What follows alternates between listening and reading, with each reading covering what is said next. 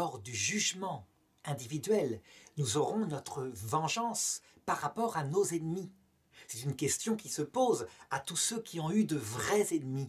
Des ennemis, c'est-à-dire des gens déterminés qui ont voulu les détruire et qui ont voulu détruire éventuellement les autres.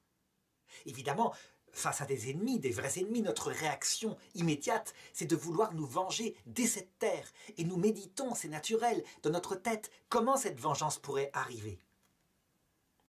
Eh bien, je crois que c'est une erreur il faut certes chercher la justice quand il y a eu vraiment des torts qui ont été commis et donc euh, laisser ce jugement se faire. Mais pour ce qui est de la vengeance, eh bien, il faut absolument la remettre à Dieu. C'est quelque chose de difficile parce que ça ne se fait pas forcément tout de suite, mais ça se fera. Ça se fera en vérité, mais d'une manière bien plus grande que ce qu'on peut imaginer.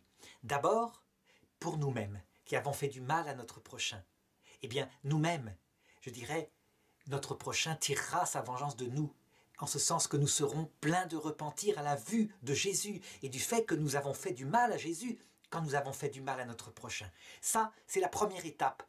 Nous serons nous-mêmes transformés, rendus plus humbles, avec un cœur brisé devant tant de choses qui sont dans notre propre cœur. Cette disposition étant là, évidemment, nous pouvons considérer que par rapport à nos ennemis, notre jugement sera manifestement changé. Fini les désirs de vengeance implacable, de triomphe euh, de, type humain, je dirais, où l'autre est écrasé. C'est quelque chose de bien plus fort qui viendra.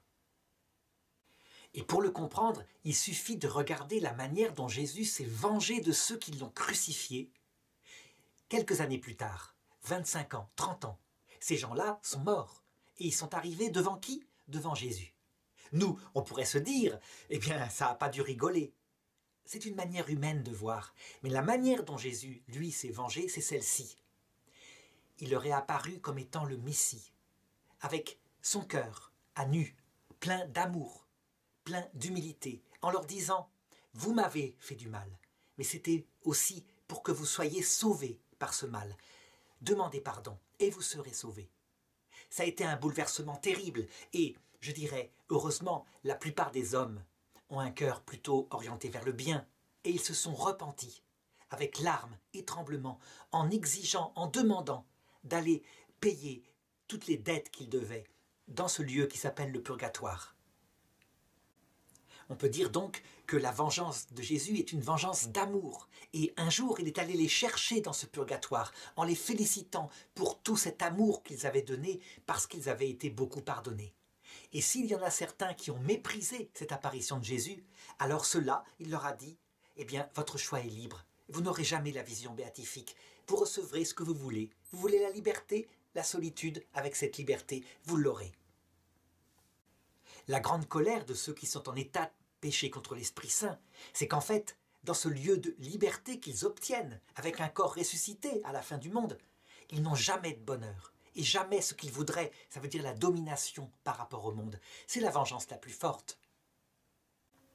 Eh bien nous-mêmes, il nous sera donné la même chose. Si nous arrivons à prier pour nos ennemis, vraiment, sincèrement, eh bien lorsqu'ils arriveront à l'heure de leur mort, ils verront de leurs yeux tout le mal qu'ils ont fait, et ils se repentiront.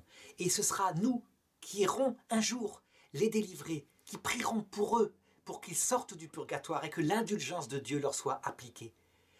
C'est une vengeance d'amour, ce n'est pas une vengeance de haine, mais c'est bien plus fort.